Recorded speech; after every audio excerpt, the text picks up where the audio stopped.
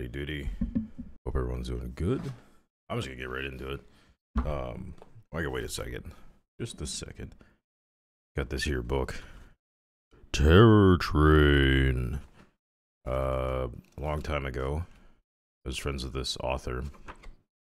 I don't remember how I met them. I think it was through uh, this website called Poetry Hunter. Uh, I don't think it's still a thing.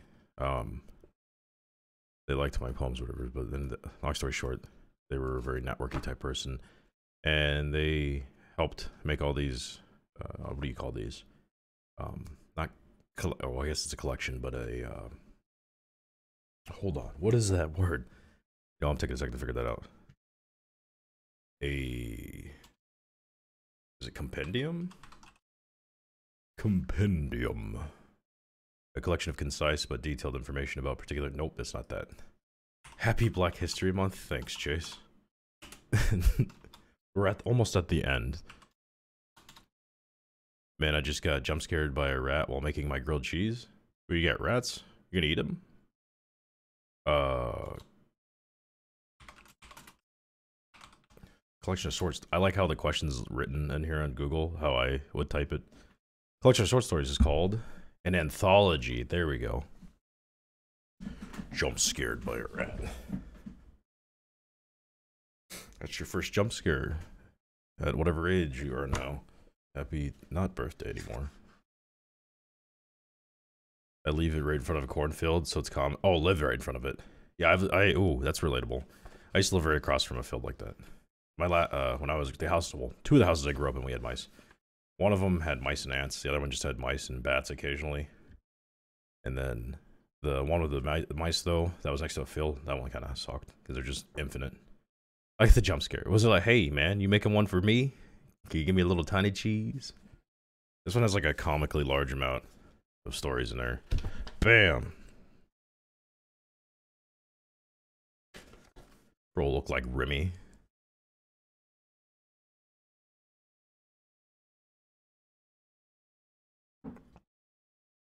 Infinite mice and corn sounds like a crow's dream.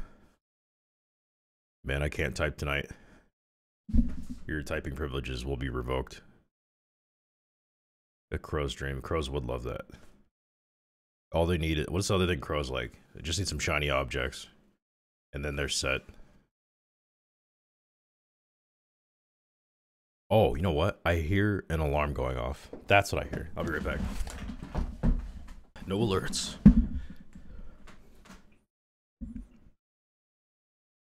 Wait, come back. I just got here. I had, a, I had my cell phone alarm for midnight going off. Just in case I slept till midnight. That was my plan originally. I'm gonna break your wrist if I even ever see you in public. That way you can never type again. It's violent. Me and my bro have stolen corn from the field. That's messed up, bro. Don't steal corn. That's the farmer's plate. Where is Hank?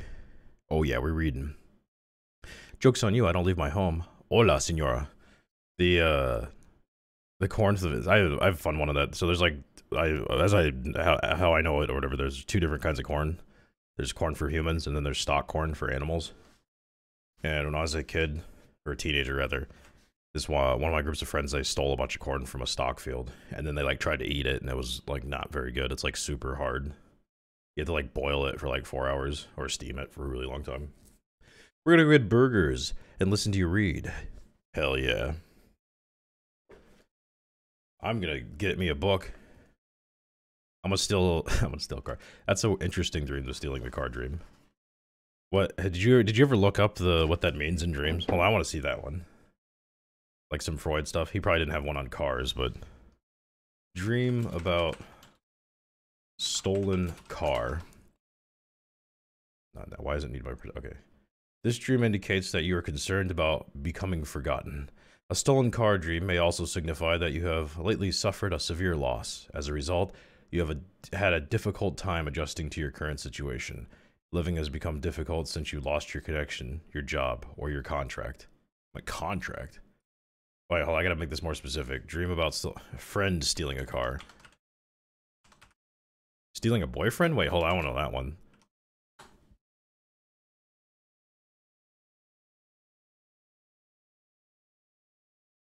No, that one's not specific enough. All right, I gave it over.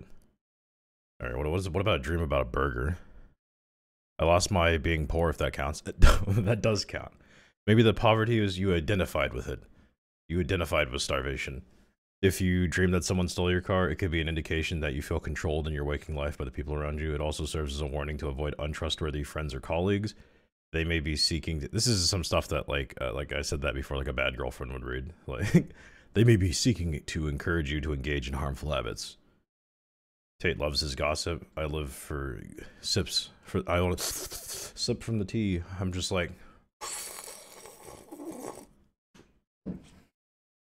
We're sitting near a marsh right now. There's marshes. It smells like salt and rotten meat for someone, or for someone, for some reason. That's kind of gnarly. That, yo, that kind of helps though, because it's gonna be horror stories. So maybe there'll be stinky smells. It's like uh, 4D. I feel like our dreams reflect our recent experiences. It's either that or what we want, what we're scared of, or what we've experienced in recent times. I feel like that there's a bunch of subconscious. Yes, I want Ira to steal my car. That's his. That's his dream. I had a dream about Epstein Island. So what's that mean? That's spicy. You know what I dream? What dreams I love? Lesbian ones. I like how she got cut off in that sentence. I think uh, I, I genuinely believe dreams are a good way to see where your consciousness is, but it's also probably the the mental equivalent of like a YouTube poop, where it's just cutting together a lot of things that you uh, take in with all your sensory data throughout your time uh, conscious and then piecing it together. And it's up to you. I don't know. The only time I really think about it much is if I feel something, like other than the obvious. My dreams center around frogs often. Oh no. Hold up. Let's find out what dreams about frogs. I know snakes are the. In a nutshell, frog dreams represent change. Frogs are linked to transformation by their unique life cycle. Oh yeah, metamorphosis. Metamorphosis. I don't know what a metamorphosis is but I want a metaphor for this that makes me feel like frogs is dreams is is. No, I don't get one. We need frog horror. They probably have that. There is a movie called Frogs that's about a bunch of frogs popping in, like the plague. Depends. What did you do on that island? Yeah, we to know what happened on that island in your dream, dude. I hope you were a janitor. Otherwise, I'm not gonna be able to talk to you anymore. Uh, yeah, I've, you've been in a couple of my dreams recently, Tate, because I spend so much time on your streams.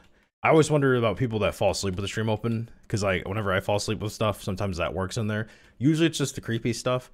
Like if you use if you leave YouTube um uh autoplay on, and uh, depending on your proclivities and how you use it or whatever, for mine it inevitably ends up on like UFO videos where it's the guy's like, and the villagers didn't know where he went, and it's like the creepiest thing. Or it's like that one meme the the giant horse conch is a foot long or whatever.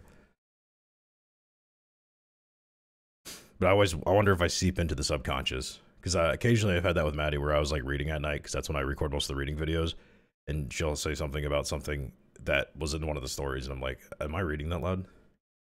Brady dreams about Nico taking him up a flight of stairs, like carrying him. Dang. Nico's. Oh wait, I guess Brady's Brady's been getting in shape. I was about to make a mean joke about Brady, and I refrained for no reason. I was gonna make a mean one. Our new apartment is just the sound of blaring frogs. Oh, as you literally live next to Amar. Oh, well, you know, that's intense. Just they're all trying to a bunch of frogs out there trying to get laid, and you don't even appreciate it. Is that why your dreams are frog based now? He's he's getting it's leaking in there. Being eaten, vibing with them, being one, and and or eating them. Well, it's like the frog cycle. Bust a bus. The giant horse conch yeah, that's what he's saying in that video. The what? it was like an action sequence of trying to escape onto a boat. Oh, okay. Action. It's uh what if they did that? Okay, imagine this. Um Man versus Wild. I think that's Bear Grylls or the other guy, I can't remember. They drop him off on Epsilon, and uh they're like, I'm here on Epstein's island. I have to try to escape in 12 hours or I'm gonna be scarred for life. Bus a bus. Bus a bus. Do we have video redeem? I'll pull up the horse. No, no, sir. I looked. I looked it up. That's what it said. What he says. Bus a bus. Wait, who says bus a bus? Hey, look at that. That timer actually worked for once. That's the first time I've seen it do it without me doing anything. I don't even have any of the other alerts. Look, see, look at this. We have a few alerts, but nobody here is going to get to redeem them. Should I get food or sleep? What's the difference?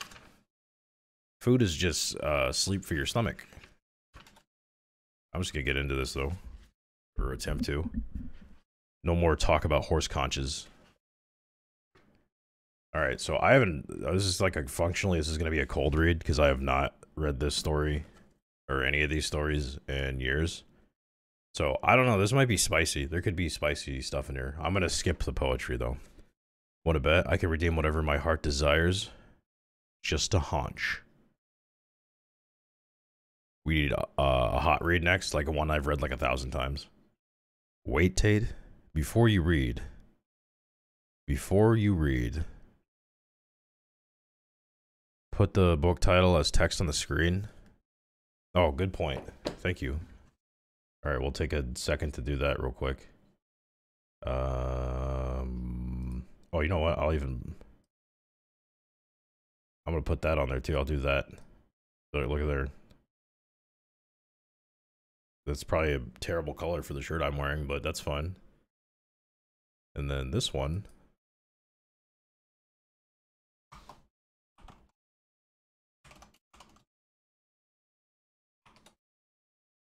Where's this even at?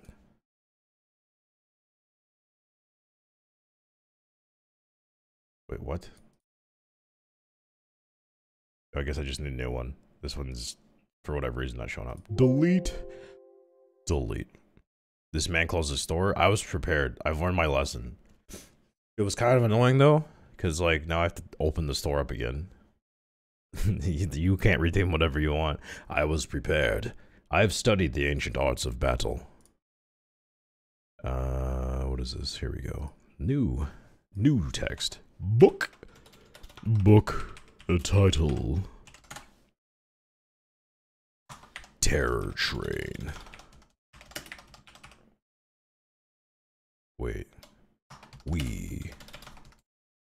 We are reading Terror Train.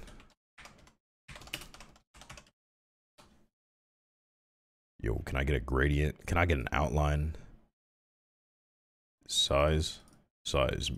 Not that color, though. That is... We need black. Done.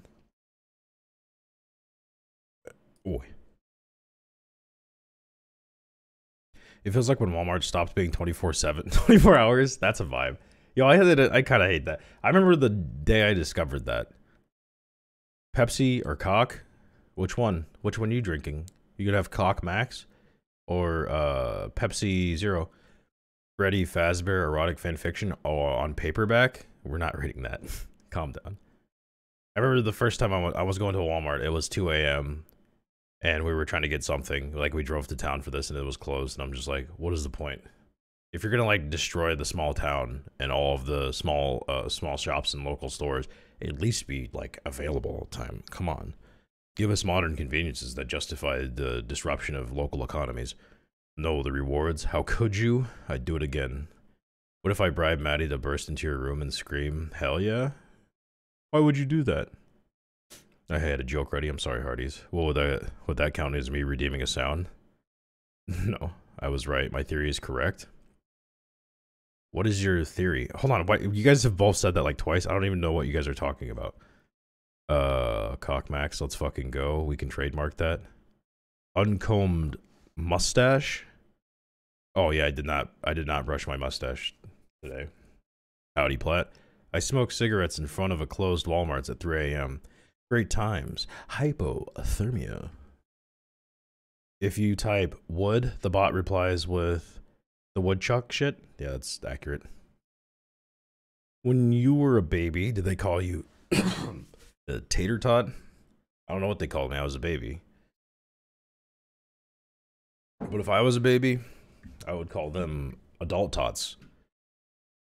But it has a cooldown. Oh, you mean the word? Okay, that was your theory. I'm glad uh, that took you. That was the first person to notice. No, not the first person to notice. I think Shrek figured out, but that took a month. That took a month. I had that. I finally added a thing in there, an auto response, if you will. How much wood would a chuck? Do people think your name is Tate? Joke's on them. Your real name is Randall. Why would you reveal this? You know, wizard loses his power when they, or a demon loses his power, or a, everyone loses their power when they don't pay the electric bill. I need, I want the book to be in there. Look at this sick, look right there. Throw a cigarette on this dude, and most people's dad would use him as a profile picture. Maybe had some top text, bottom text, like, uh, trained to born, born to train. Born identity. The people, what is this? Took me a couple streams. Looks better than me, to be honest. Oh, you, which of your followers is the biggest bitch? Twink Man Randall Savage. Twink Man? And he would say, heck yeah, friend. And instead of Slim Jims, he would eat soy sticks. Born to shit. Forced to wipe. Yeah, I, I, I could see that on there. And then he's like, welcome to the pain train. First stop, your face. I don't know who the biggest one is. There's a few, though. All right, here we go. We're going into, what is this, right? Of the first transcontinental railroad departing from Grand Central Station, May 4th, 2019, 9 p.m., ending in San Francisco, California. Bon voyage dinner. 6 p.m. Is it Ciprani? Ciparani? Or is it Ciparani? We'll never know because I'm not Italian. Uh, 100 or I don't speak Italian. I don't think you have to be Italian to know that. I'm sure there's a bunch of people like I'm part Italian and they don't they can't read that or yeah. 120 East 42nd Street, New York. Okay, so I don't always love my job. I hate trains. Ever since I was a kid and my grandmother picked me up every summer and took me to stay with her in Washington, I've had problems with motion sickness. Some people say it helps to ride facing forward. It never helped me. By the time we got to Union Station, I had been there two or three, been through two or three barf bags, and was ready to spend the next two days in bed. I can't even stand the subway. I can barely take a bus to work. Put me on a plane with a couple of drinks and a Prozac, and wake me up when we get there, and I'm fine. But the mere thought of a train makes me lose my lunch.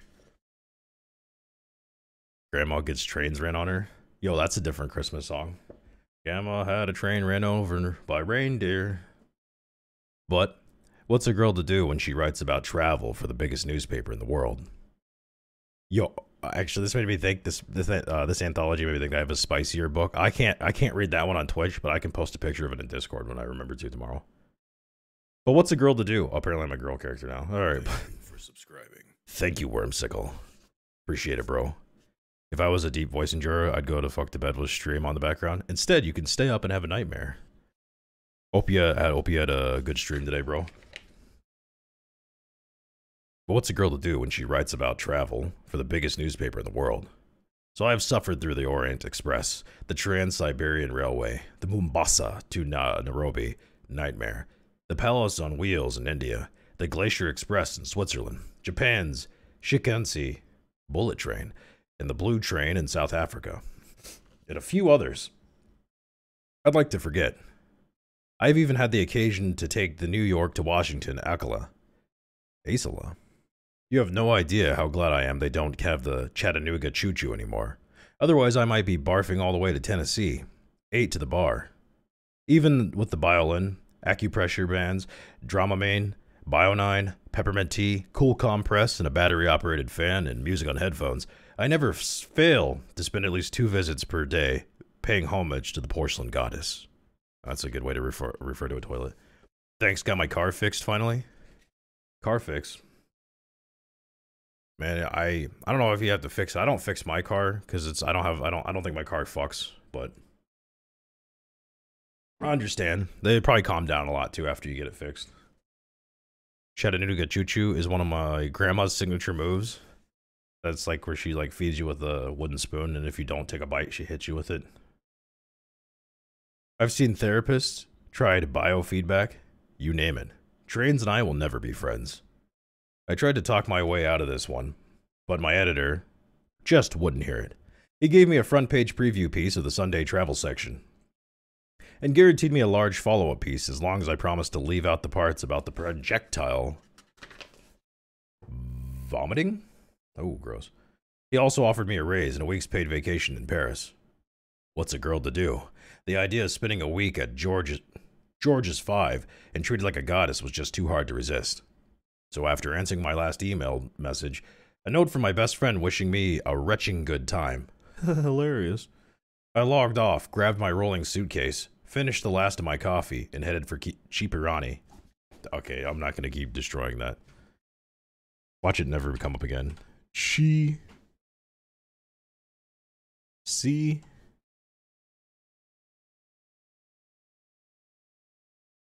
Do, do, do. Repaired.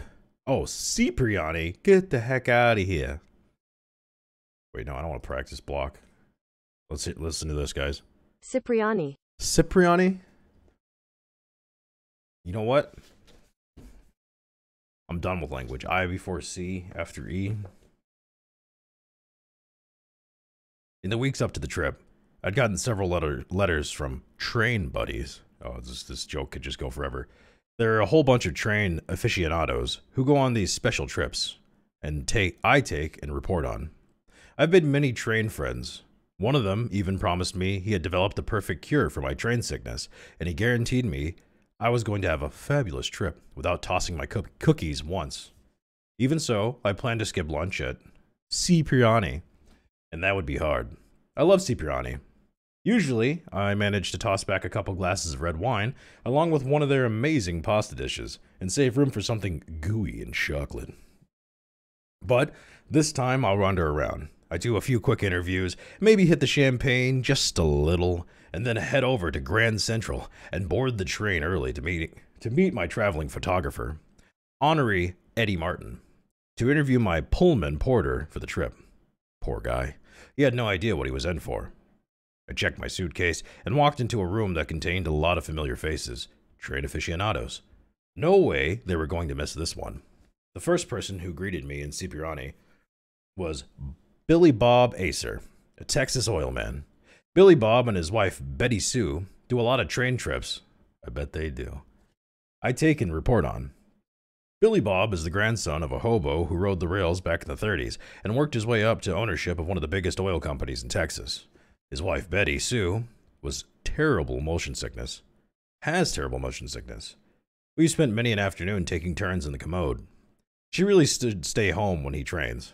I don't know whether it's because she loves him madly or she doesn't trust him, or maybe a combination of both. Wait, who we got here?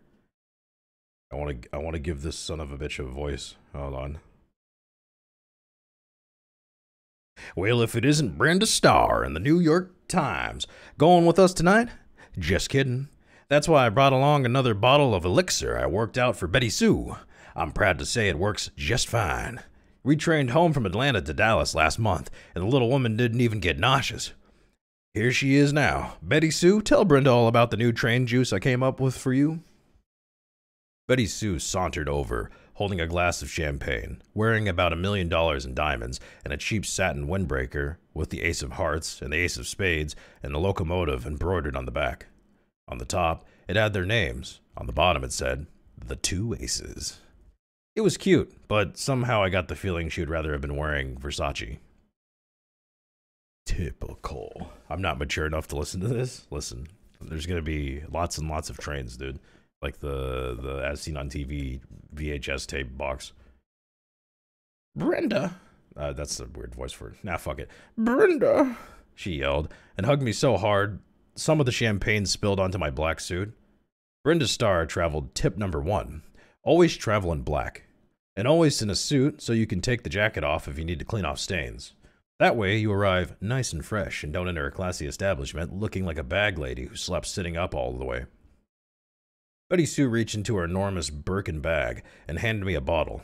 It looked like bootlegging gone wrong, horribly wrong. It contains ginseng, chamomile, peppermint tea, a touch of almond extract, some rare Chinese herbs, a touch of Gatorade from the electrolytes, a little blood orange juice, and a small amount of Tennessee sipping whiskey. You should see you should take a dose now and one when the train gets moving, then one in the morning and one of lunch. Take it with a dry cracker. Take it with dry crackers. I almost called her a name. It's worked so well on Betty Sue. We're thinking of patenting it. God damn it. I wish they told me who the fuck was saying this because I think this is a husband now. I'm already. We're thinking of patenting it. It works and you write about it in your column. We'll cut you 15% in perpetuity. We could make you a very rich lady. I smelled it. It smelled pretty vile. And it was inside a vial. It was like a double. I've been trolled. It didn't even say who was saying that, bro. I'm so I'm so trolled. I'm so trolled. This is why cold reads suck. Uh, and I wasn't sure if those were some dead powdered insects crawling around in it, but I was pretty I was pretty adventurous eater. You kind of have to be to be a world traveler. And so I stopped a waiter, grabbed two crackers, scraped off the caviar, and swallowed. I followed it with a gulp of the potion. I came close to hacking right then and there. But after five minutes, the feeling was gone, and I was feeling pretty good. I had two glasses of champagne, and even managed to find the pastry cart and hide in the corner with something to feed the chocolate monster in me. Oh, I got a little chocolate monster. And then I saw him walking toward me. I checked to make sure. I didn't have any chocolate on my face. He was tall, dark haired, slightly graying at the temples, and had a blue eye, the color of a blue eye. Okay, a blue eye, the color of the water gracing many a loo into which I had made deposits while on trains or bus trips. Yes, I. Oh damn, even the author caught me. The other one was covered with a black leather patch. The good one had eyelashes as long as they cast a shadow over his face. So long they casted a shadow over his face, they made it look like we were talking through the bars of a prison visiting day. Damn, he looked like a Latina. Bro had the fucking... he had the, the caterpillars. Something about this guy was bad. And if there's something I love more than chocolate, it's guys who are bad. Uh, like, like them bad boys. Come and get her. He sat opposite of me and pushed the rest of my dessert away. You don't need this. You're sweet enough, he said in a thick accent. Oh, I'm sorry. It's supposed to be that. What's what accent do I go with here? Stop. Oh no. Well, I don't know. I'll just mush it. You don't need it. You don't need it. You're sweet enough. He said in a thick accent.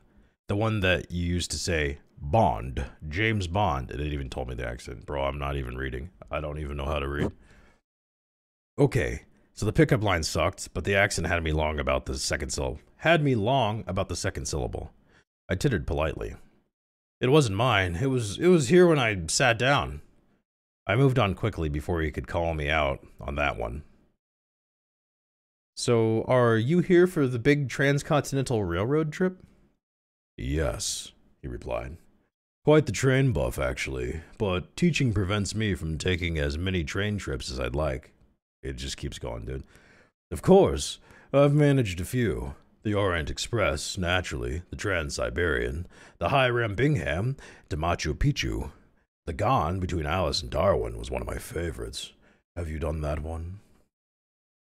Actually, I'd begged off of that of that one about a year earlier. They sent someone else. No, I missed that one. But I have done the Blue Train, the Palace of Wheels, the Andean Explorer, and several others. Even ridden the Sh- Shikansen, Shikansen bullet train in Japan. Yes, I love trains. He smiled in a scholarly way, put his chin on his hand, and leaned in. And how is it you have time for such adventures? My god, he was gorgeous. I could barely get a word out. I'm, uh, I'm a travel reporter for the New York Times. I cover the most glamorous trips in the world and write about them. Maybe you've seen my byline, Brenda Lynn Starr? Oh, yes. You were on the Antarctic cruise that became icebound a few years ago. I read your recent piece about the anniversary cruise you took through the Panama Canal. Well played. Not much chance of getting frozen in down there. I chuckled. True, but I didn't breathe until the ship was safely through those locks. I was terrified about having to be rescued again. So, how is it you're able to take so many train trips? I asked, eyeing the dessert longingly. That's exactly the sound I make when I chuckle. I'm a professor at Cambridge. I teach literature. I use school vacations and sabbaticals to travel.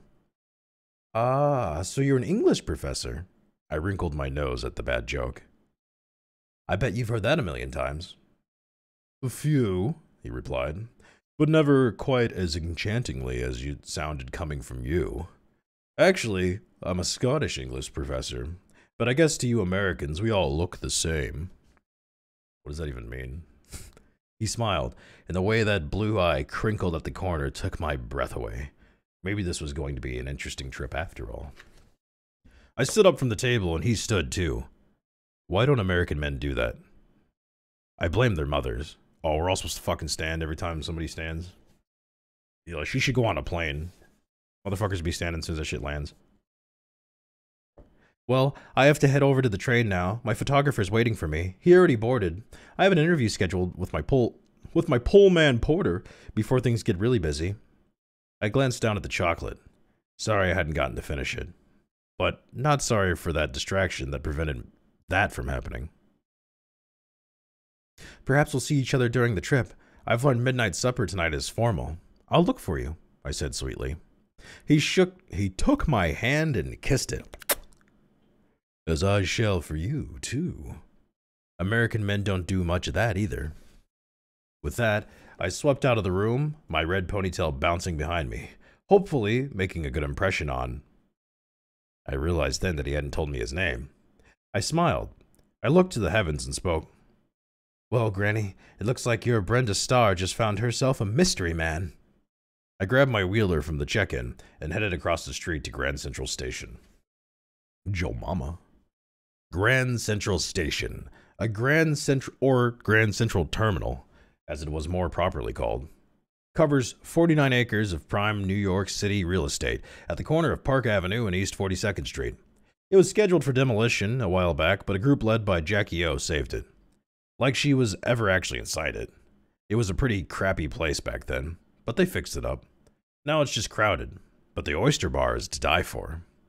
I took a deep breath and pushed on the doors. Here it came. Another three days and four nights of almost nonstop barfing. Why is it I can throw up for three days and never lose an ounce? As I entered the building, a wave of dizziness came over me. I stopped to catch my breath. Then something hit me on the middle of my stomach. I gasped and closed my eyes tightly. It snaked around my body and disappeared into the floor. It felt like a prickling. Sorry, I had to sneeze. That was, uh, Call me Sneezy. Where were we at? Prickling, prickling tingle, like electricity, surged around me. It took a moment before I could open my eyes. When I did, I immediately noticed there was something in front of my face, like I had walked through a large spider web. I reached up and pulled it away and discovered it attached to something on my head. A hat? I wasn't wearing one when I left Cipriani. Who wears hats? I touched it. My hair, the long red ponytail was gone. it was short and curly. How was that possible? Thanks for the blessing. Panicking, I looked around the huge room. Everything was black and white. Bright white light streamed through the clerestory windows, high on the walls, pulling onto the jet black floor as people hurried across it. Huge strong beams of light, like spotlights outside of Hollywood premiere. I recognized it at once. This iconic photo of the station in the 1930s. I reached out to grab the handle of my roller and discovered I was carrying a small, hard-sided makeup case and a handbag I couldn't be I wouldn't be caught dead with. My travel pantsuit was replaced with a printed dress that fell beneath my knees. I could tell I was wearing ho- wearing hose. The tips of them were sticking out of a pair of peep toe platform shoes. This was not good. I ran to the newsstand, grabbed a newspaper, and read the headlines. Lou Gehrig, end streak of two, uh, 2130. Union Station opens in Los Angeles. Oh, it's spelled Las. Los Angeles. And total lunar eclipse visible in Far East. None of those things happened. I look at the date May 4th, 1939. How was that possible? I put the newspaper down. Somehow, three lattes with extra shots, a couple of glasses of champagne, and a hit of Billy Bob's of train juice had me hallucinating. My entire body was trembling. Maybe if I turned around, walked out the station, and walked back in again, my head might clear up. A little fresh air might just do it. I turned around and walked straight into the mystery man, dressed in a pinstripe suit and a fedora hat. There you are, darling. I paid the taxi driver and had the red cap take our luggage to the compartment. He reached into his vest and retrieved a pocket watch on the chain, clicking it open. We're a little early. We don't have to board for another three quarters of an hour. Shall we go find a bookstore? I'm sure you'll want something to read on the train. Did he see it too? Or was it just me? Had this whole world just morphed into something from the Twilight Zone? If so, he wasn't mentioning it. And exactly how does one bring that subject up? Exactly who are you? What have you done with my roll on? Why is the entire world black and white? And why is it 1939? I decided to let it go. Oh, never mind. I decided to let it go a little longer and see what happened. I don't like to jump into things too quickly. Besides, he mentioned a bookstore and took me by the hand. What was I supposed to do? We walked around until we found a shop. My feet were killing me. We walked in and I gasped. Shelves full of books like The Hobbit, Of Mice and Men, Rebecca, Tropic of Cancer, The Unvanquished, Death on the Nile, To Have and Have Not, Northwest Passage. I took a copy of Rebecca off the shelf. It was the first edition in mint condition. Uh, that kind of rhymes. First condition and first edition in mint condition. I was standing in the middle of a small town world, uh, a room filled with books worth hundreds of thousands of dollars. First editions by the most famous authors of the 20th century Hemingway, Faulkner, Williams, Fitzgerald, Christie, Hammett. The list went on and on. Holy shit, I said. I'm sorry, darling, the mystery man said from the other side of the store. Did you say something? Um, no, I said, gathering up a pile and taking them to the counter. Suddenly it occurred to me that this wasn't my handbag, and even if it was, they didn't have plastic in 1939. The mystery man came up behind me and put his arm around my waist, kissing me on the throat. In a store? Ooh. Darling, I know you're a librarian and love books, but seriously, you don't think you'll need all this reading on our honeymoon, do you? I felt my heart stop. A honeymoon? I was married to this guy? I didn't even know his name. And when I did, when did I become a librarian? I was flying by the seat of my pants. Wait, I'm not even listening. This is about some person traveling back to the past or some shit. Yes, they have. Uh, they've traveled back. All right, hold on. We're gonna find out how far they traveled back. Uh, I felt my heart stop. Honeymoon. I was married to this guy. I didn't even know his name. And when when did I become a librarian? I was flying burn. I was flying by the seat of my pants. Oh no, I don't expect to get all of them on this trip, but I've been wanting to buy these titles. I'm sure you'll let me get them sooner or later. What I really hoped was that when I woke up in 2019, I'd still have the books, a shelf of brand new first editions, would be to die for. Okay, he said to the salesgirl. Wrap them up, but sweetheart, you really need to start letting me pay for things for you. I am your husband now. I took another look at the mystery man. He was hot as hell. This trip just got a lot more interesting. We boarded the New York Central and met and met by our Pullman porter, a dark-skinned man with wiry gray hair. He tipped his hat and greeted us. Good evening to you, Missa Blackwood. Oh hell yeah! Oh, these my boobies, Okay. my massive fucking titties. I didn't fix that my one. super stuffed milkies, my hunker bunkered oinky boinkies, my fucking Howdy, Payne. stretching wind flapping you're doing gravity good. welling sex. Almost had it. What? I didn't even stop that. You won't stop me? I won't. I can't. Cannot stop. It cannot contain the beast. I thought about it, but didn't want to give your secrets away. Oh, okay. All right. Well, now I know what team you're playing on. Oh, hold on. Where was I? Oh, yeah. We get to do a good evening to you, Mr. Blackwood, sir. I hope I sure hopes I was pronouncing that correctly. And a good evening to you, missus. Your compartment is just down there. Walk this way. Hell yeah. This is what we live for. He took my bag back from me and turned and shuffled down the hall, leaving us to follow. I tried not to laugh. Not even Richard Pryor would get away with an act like that in 2019. 2019. I was tempted to stoop over and shuffle behind him. Here we goes, Mr. Blackwoods, he said, opening the door, sitting my travel case inside and handling, handing the mystery man, Mr. Blackwoods, the key. The mystery man flipped him a shiny quarter. The Pullman porter took off his hat in time to catch it inside. Thank you, sir. Now remember, if you be needing anything, you just ring for old Titus, sir, and I'll be coming running. I have a great trip. He shuffled down the hall, putting the quarter in his pocket and singing to himself. If you got a shiny quarter, you can tell the Pullman porter. Turn our lights real slow. Oh, oh, oh. Then we're gonna shuffle, shuffling off to Buffalo. Oh. I don't want to give them away to chat. Fair enough. Fair enough. What? Yeah, we're we're partway through. I'll just catch you up if you're having this going. If you even care remotely, we are in a train. This lady was going on a supposed to go on a train expedition in 2019, and she went into a fucking door, and it took her back to 1939. She and is everything's in black and white, and just this mystery man that she uh, does not know that she's apparently married to, or is about to be married to, or did get married. Never mind, they are married because this is they're about to go on their honeymoon. Honeymoon on a train. Could you imagine running a train on your honeymoon? Come on, my love.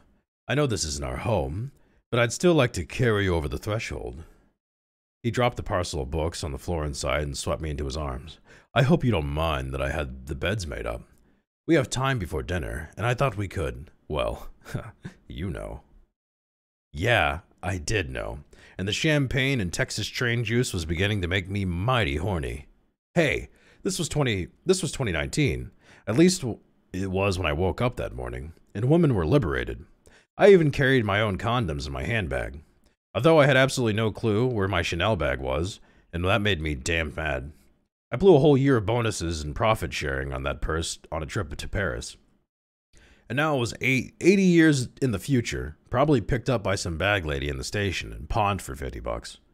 Behind me, Mr. Blackwoods, no first name yet, was fussing around in one of the trunks.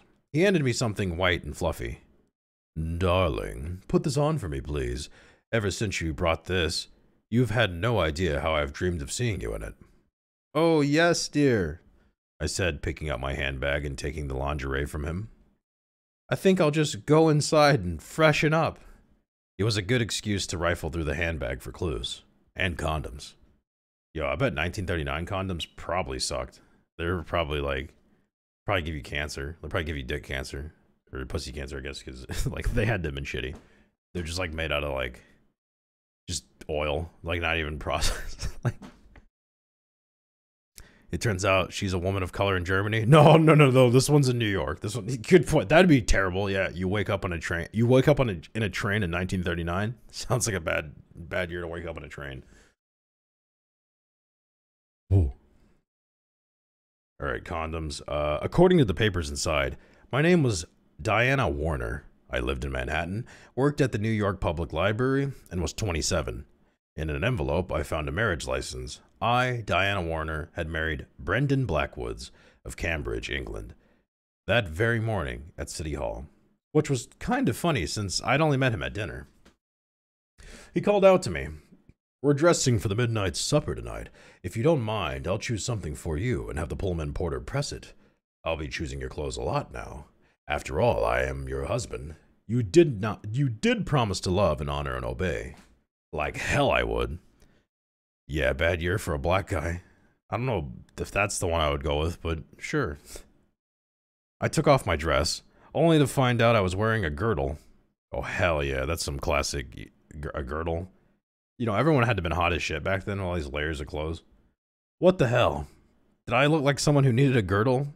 I went to Krav Maga class two nights a week and hit the gym another three. Then I looked in the mirror. My 1930s body, a little bit different.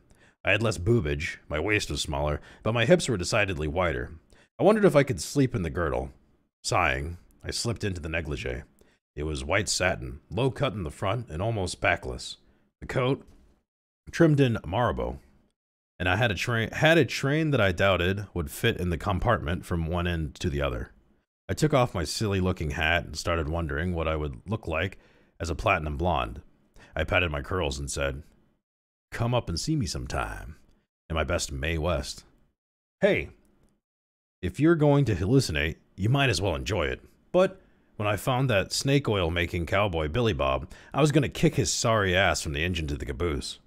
When I opened the bathroom door, Brendan, the mystery man, had changed into a black silky pajamas and a velvet robe. It was, well, it was black and white like everything else. I stifled a giggle. made that make that a guffaw. No man I'd ever been with owned a robe, except for the guy back in that guy back in college who liked to do Ian Anderson impressions. You look magnificent, he said. The accent made me wet. Whoo, we're getting, getting in that. Oh, this is spicy. Come and show me the gown. Made it back to Silver Lobbies. Right now, we're in the wood, the paper lobbies. He was kind of too late on the coming part. Wait, what? Oh, okay, on the coming part. The voice gave me a little oh. As for the gown, I practically tripped over it. I'm not exactly a red carpet kind of girl. He swept me into his arms and tossed me onto the bed, standing above me and belted his robe and tossed it away. I slid out of mine and tossed it away too. 1939 sex was strange. All that stuff about I Love Lucy was absolutely true. Neither one of us ever took our clothes off. We did it in the dark, a novelty for me. And don't ask me how, but he managed to keep one foot on the floor at all times. He wasn't even in the same zip code as my G spot, but he seemed to enjoy himself. If things were going to stay black and white, Diana had to teach a lot to teach this guy. There was a knock on the door, and he shrugged on his robe to answer it. It was Titus with our evening clothes. The hubby was going to be wearing a white dinner jacket, I could see that. He'd chosen brocade for me. It was black. I was getting somewhat sick of black. I slid out of bed, practically landing on my newly plump ass on the floor. With that, all that satin, took the dress and headed back into the bathroom to change. Believe me, the girdle went on first. I was not being caught dead with hips like that. I have to admit, I looked pretty good as a 1930s vamp. I did miss the red hair, though. We got? I'm not good, but I'm gold plat. Add me, I'll consider. I'm in you, so consider horrible ping. Not gonna lie. Gonna fall asleep today's voice is soothing. Oh shit. Depends on the region, shouldn't be too bad. Oh, they're bad. Which part of EU? okay.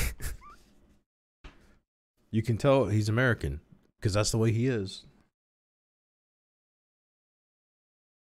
Oh, let me find myself again. Exiting the teeny bathroom with a little sway of my hips, I was shocked to see him in a white dinner jacket and a black tie with a black and white plaid kilt, complete with a very hairy sporran. A nurse, a merce, you pervs. A merce. Oh, like a, okay, a merce. I have to admit I had another little oh, better than the one he gave me in bed. I do, I do so love a man in a kilt. I once spent an entire week in Scotland with damp panties, wondering if they really did go commando. And there's a sentence I never thought I'd read in my entire life.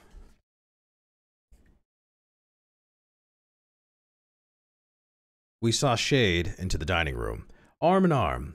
Him in his kilt, and me in this black orchid corsage, and white gloves up to my shoulders with diamond cuffs on both hands.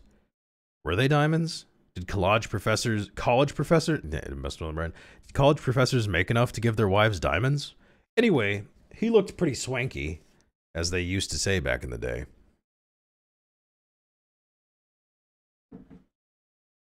There were the same people I just had dinner with at uh. Cipriani. All decked out in vintage clothes and acting like there wasn't a single thing wrong with the world being black and white. Billy Bob and Betty Sue looked like a formal Roy Rogers and Dale Evans.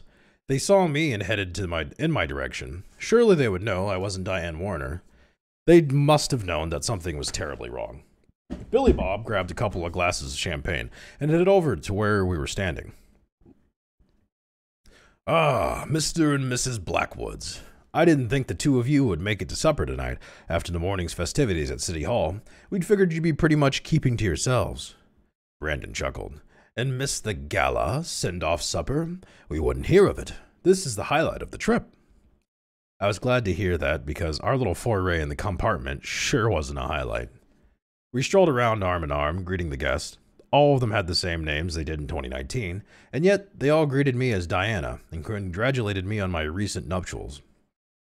Apparently, the two aces had stood up for us. All news to me, Billy Bob gave Brandon, the mystery man, lots of nudges and pokes in the ribs, accompanied by a lot of rude remarks about sex that sounded like stuff 12 year old 12 year olds say in 2019. I rolled my eyes and hit the champagne hard. Maybe if I could get drunk enough, color would come back to the world, and I would return to 2019 and Brenda Lynn Star. I gotta try that technique. We in that smut arena? Yes, we are. Doo doo. Arm in arm. Arm in arm. Yeah, it's me. It is you. I have to admit, I had a pretty. I was pretty hammered when I left the dinner party to return to their compartment. Old Titus was waiting outside to inform Massa. Goddamn, she did it. Massa Blackwoods of the beds were made and turned down, and to collect another shiny quarter. He headed down the hall singing 25 cents richer. Sex wasn't much better the second time, although the champagne made me a little bolder. Oh my, Mr. Blackwoods, where did you learn to do that? Oh wait, is that him? He asked. Oh wait, she's not fucking the the the, the bad guy. Hold on. oh my, Mrs. Blackwoods, where did you learn to do that? He asked, blushing. Hey, it wasn't like I invented being on top. Had I? Maybe I had. And his body shuddered all over when I tossed in a little hand job. His first. Pretty wasted on the champagne. Mrs. Blackwoods, you are positively swacked, he said. It didn't take. I like that. Swacked. You were positively swacked, he said, had said. It didn't take me long to fail, fall asleep. Surprisingly, not once did I feel the urge to toss my cookies. The rumbling of the train sounded soothing, almost like a lullaby. Even the cramped space didn't seem to bother me, and soon I was gone, dreaming in black and white about being in Busby Berkeley's 42nd Street. I was a little understudy, who stepped into the lead after she accidentally on purpose set a tripwire right outside the leading lady's dressing room. That was a huge success. I was just taking my final curtain call and receiving bouquets of black and white roses when there was a knock on the door. Mrs. Blackwoods, Mrs. Blackwoods. Get dressed and come quick. Something terrible's happened. The engineer wants everyone to gather the observation car right away. Oh my lord, in all my years in this here train, I ain't ever need seen nothing like this happen ever. Hurry, please. It was old Titus, and he sounded very upset. I grabbed my robe and got up. Was there a fire on the train? Excuse me for that guttural sound right there. Uh, what could have happened? I reached over the nut. I reached over to nudge the mystery man and noticed he was gone. Had I slept through Titus's first call? No, that was impossible. Even drunk, I'm a light sleeper. I doubt he would have left the bride behind. I dug through my trunk and found a pair of white high waisted trousers and a black short sleeved cashmere sweater. Pure Lauren Bacall. Just the thing to wear to an emergency. As I was leaving the compartment, I bumped into Brandon. Oh my god, I said. Have you heard the news? We're all supposed to meet in the observation car. Mm, yes, he said a bit anxiously. I was out having a smoke. I didn't want to wake you. I heard the news and came back to find you. He grabbed my hand. Hurry, darling. Blackwoods like blunt wraps? Oh, it could be. He's he's the blunt wrap. He's the blunt man who can make some grass, make it nice and sweet. I need more liquids. I might have to go make more hot water.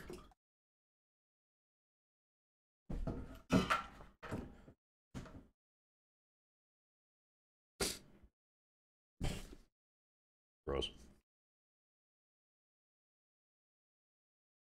And here we are. When we arrived at the car, there was a large ring of people standing around a seat in the middle of the car. Brandon held my hand and pushed us through the crowd. There was a woman sitting there. Her eyes were wide open and she was staring straight ahead. It didn't take a CSI person to see she was dead. Anybody know who it is? Brandon asked, taking charge. That'd be Missy Ellen Parker, Titus said. Her compartment is next to yours. Who's she traveling with? Alone, I said. She's a gym teacher from New Hampshire. A big fan of trains since she was a child. She frequently takes train trips, always alone. She took a vacation week. She didn't want to miss this one. How do you know that? A passenger asked. I had to think fast. She was dead. She wasn't going to contradict my story. She introduced herself to me at dinner. Well, from the looks of it, someone strangled her, another passenger said. Probably snuck up behind her and got the drop on her. I d- who would say that? Just piss in a cup. and make your own make your own drinks, make your own tea. You're you are you are pretty much a, a tea a tea machine. I'd taken about six train trips with Ellen Parker. She was a gym teacher who lived with a woman in Conway, New Hampshire. She was one of those kind of gym teachers. Taught self defense to women was strong as an ox. No way she would have let someone sneak up on her and strangle her without putting up one hell of a fight, and mo- most likely would have won. I don't think so, I said. There's no sign of struggle, no scratches on her arms. Oh, everyone actually is a CSI person on this train. Her clothing wasn't disheveled. If someone was trying to strangle you, you fight. Maybe someone stabbed her, dragged her here, and set it up like she was sitting here. Another CSI fan, or in 1939, I guess would be Dick Tracy. There's no blood, Brendan said. They cleaned it up, Dick Tracy suggested. It was a linoleum floor, but still, that would have been a lot of blood to clean up, and the floor looked immaculate. He cleaned it all up then, then threw the rags off the train. Where'd he get rags from? Billy Bob asked. Poison? Dick Tracy wasn't going to give up. Nobody else got sick at supper, I said. I know, he said. She wasn't feeling well, so she asked her Pullman porter to bring her a nightcap. It was poisoned. Titus got in a tizzy. Mister, I've been riding this here train for the past 35 years. Delivered a lot of nightcaps to a lot of people, and not one of them was ever poisoned. And I'd swear on that on my mama's grave. Mammy's grave. Sighed as if and I took a poison drink to the, her compartment. How'd it get here? Here. Oh, he's calling it out.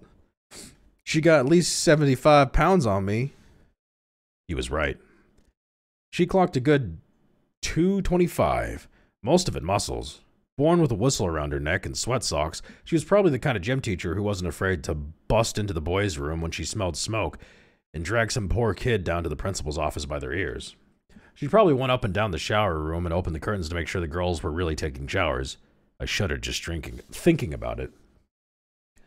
Okay, so maybe you didn't poison her? What do you think happened? Who killed her? Titus walked closer to where the body was sitting and looked her up and down. Well, she looks pretty white. Even for a white woman, I'd say she was a vampire. Okay. Now, we've gone way beyond PC and into the grounds of some serious racism. There's no such thing as vampires, Betty Sue said. Oh, yes, there are, Titus said, the whites of his eyes doubling in size. Why aren't you famous yet? The same reason I still need to drink this water. I don't know. Where are we at? Oh, come back. Vampires, vampires. All right, so we got right now the dead woman on the train. We've time traveled back. Dead woman on the train. The suggestion that, that it's vampire. Back home in Louisiana, we got them. They comes out at night and drinks blood. That's why she's so white. Someone done drank her blood. Then there should be two little holes in the side of her neck. Take the scarf she's wearing off and see, Dick Tracy said. Why didn't he just do it himself, the big wuss?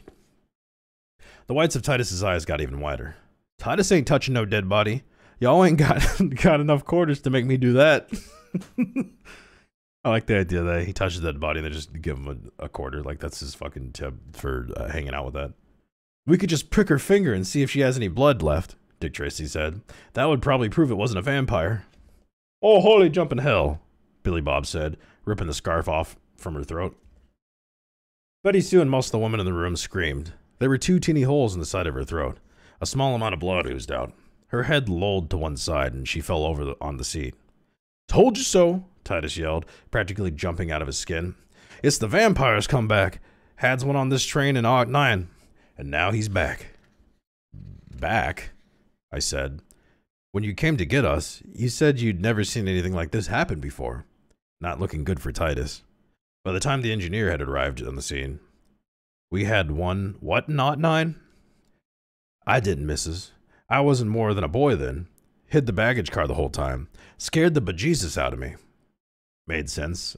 I, and I thought I had nailed him. A vampire, so. And now he done come back and took this white woman's blood. The engineer leaned over the body, the two holes in her throat clearly visible. Who did this? He asked. I like to imagine that he's like doing like a like when you have dogs, like a do- one of the dogs like like breaks something or shits in the house. You're like, who did this? And they're like little sad wag over to you. And then you write them a reprimand and dishonorably discharge them. He asked, Duh, are all the train engineers high on cocaine? The vampire did, and before the night is through, he may strike again. Titus' knees were knocking together. His white gloved hands clenched below his chin.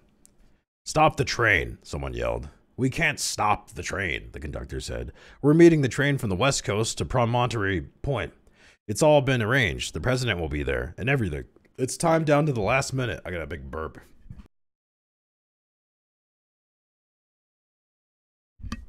We're free again. We're liberated, in fact.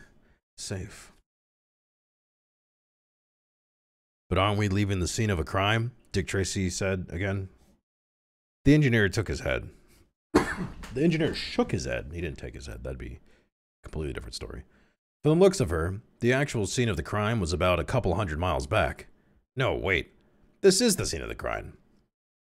We're taking it with us. We'll figure it all out when we get to Utah. For now, everybody go back to your rooms and lock your doors. Is anyone armed? Me and Betty Sue been sleeping with the matching pearl-handled pistols underneath our pillows. Since our wedding night. Oh, wow. That's, yeah. Billy Bob said. But we ain't got no silver bullets. Titus, run down to the kitchen and grab all the garlic we have. People, if you have more than one crucifix, would you mind sharing? You'll be safe inside your locked rooms. I looked at Brandon. No way I was going to be locked in a room with a complete stranger, a stranger who was conveniently out of smoking, out smoking at the time of the crime. Hold on a minute, I said. That means that if one of us is the vampire, one of us is going to be locked in a room with him. Wouldn't it be better if we all stayed together? You know, safety in numbers. Who says the vampire's a man? Brandon asked.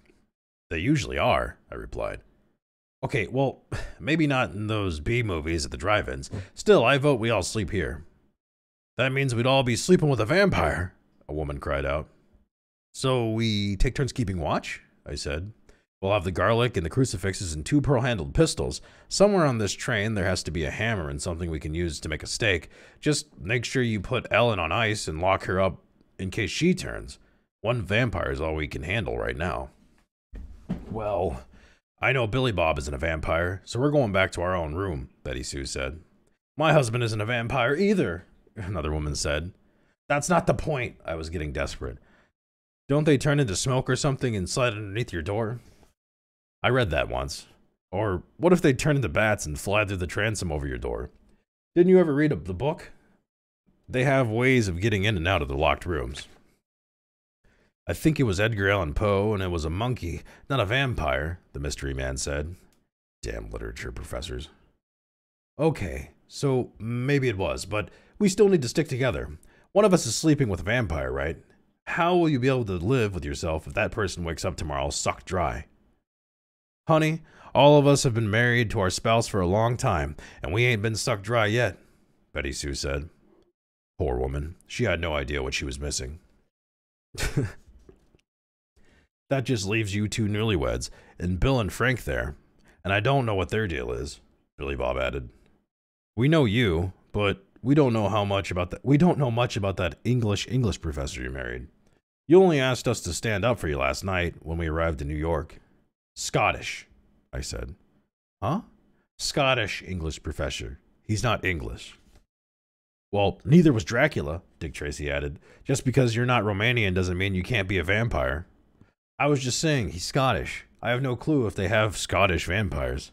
In fact, I have no clue who the vampire is. Hell, until a few, min- until a few minutes ago, I didn't even believe in vampires. I haven't seen you people in a while. Maybe one of you became a vampire since our last train trip. You know? She's right, the mystery man added. First smart thing he'd said all evening. Technically, it is possible that two of you traveling together are both vampires. Oh, Lord, end of days, Titus cried out. And then there was the crew. And then there's the crew. Anybody new on this trip, Titus? A new Pullman porter? Someone new in the kitchen? A new conductor? The engineer looked pale.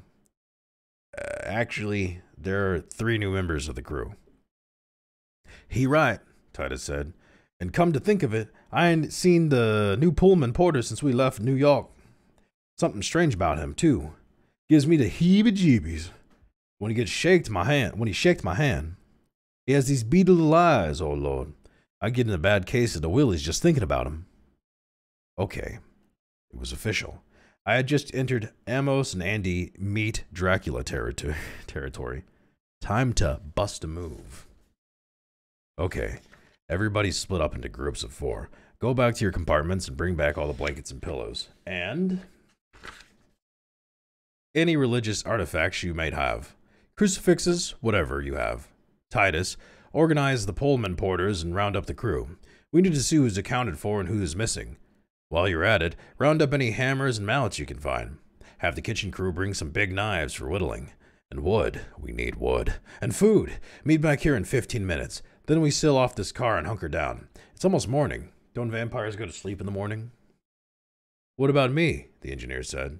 I have a crew up front. and We gotta run this train. And there's a new guy up there, too. Kick him out. Lock him in a compartment or something. And somebody get rid of this body before she becomes a vampire, too. There was a flurry of activity. Four guys picked up four, poor Ellen and headed towards the kitchen car. Or are they to eat her? They're to eat Ellen? You to have a little Ellen snack? They dropped her twice. Jesus Christ. Are you to drop her with four fucking people? Uh, people took off in every direction in a mad scavenger hunt. I turned around and the mystery man was gone. Oh shit. I'd been sleeping with a vampire. I've slept with my share of losers in my time, but this had to be the worst. I really had to sign up with one of those background check services just as soon as I got back to the color in civilization. Darling, there you are. Come over here. Come quick. I ran to where he was standing. Another body was on the floor between the seats. Bill or Frank, I don't know which. I looked at the mystery man and back at the body. Somehow during our Agatha Christie dining room chat, Bill or Frank had drifted away and the vampire had gotten him. I'd been with Brandon the whole time. At least I was pretty sure I was. Did that mean that the vampire had been in the car the whole time? Maybe they really did turn into mist. Hell, I didn't know anything about vampires. I didn't even live in this century. I turned around to call out the others and realized we were alone in the car. Just me and the vampire. I had to get the hell out of there and fast. The mystery man blocked the doors closest, and the other one was way down at the other end of the car. It was fight or flight, and somehow I had the feeling that either way I was going to come up short. Even Krav Maga wasn't going to help me now. He was he would probably just turn into a bat, to put it mildly. I was fucked. I turned to run and he quickly overcame me. I hit the floor hard and felt his hot breath on my throat. I tried to struggle, but it was too late. I felt his teeth sink into me with my lifeblood and began to drain from my body. I closed my eyes, ready to die. I was dying in 1939, the year before my mother was born. I heard a scream. It was Betty Sue. I recognized the voice. I opened my eyes so I could tell her to run. The world was back in color. I was on the floor on Grand Central Station. I could see my red hair sprawled out beside me. People were crowded around me, and it hurt so bad. I looked down at my stomach and saw the dark, wet spot on my black suit. Someone was pressing on on it. Their hands were covered in blood. Did anybody see what happened? Someone asked. I did, another person replied. This lady walked through the doors with her wheeler behind her and bumped right into this guy with an eye patch. He just kept walking, right out the doors, and then she fell. By the time I realized what happened, it was too late. He'd, blended, he'd blended into the crowd, and he was probably a couple of blocks away by then. What? Why would he do it? Betty Sue asked. Who the hell knows, lady? Welcome to New York. I heard the sirens in the distance and watched as I bled out into the Tennessee pink marble floor. My life flashed before my eyes like strips in the funny paper. I wasn't going to make it. Somewhere in the recesses of my mind, I heard the gentle sound of a train and felt that motion that always made me sick. Only this time, it was luring me to sleep. I lifted my head up to look at the beautiful clock that is rumored to be made of pure opal the clock that makes sure that thousands of people get to work on time every day. It was 7:39. 1939. I closed my eyes and let the train take me away. The end. I need to heat up more water. What I miss?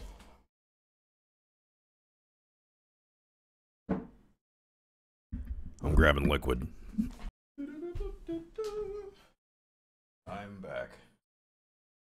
Allegedly. How's it go? That was pretty good. Apparently Windows thinks so too. Uh, I did like the foreshadowing. Forgot about that. In the beginning, it did hint that she got stabbed.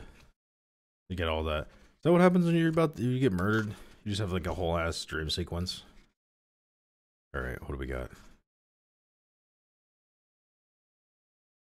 Steel Deliverance. All right. Here we go.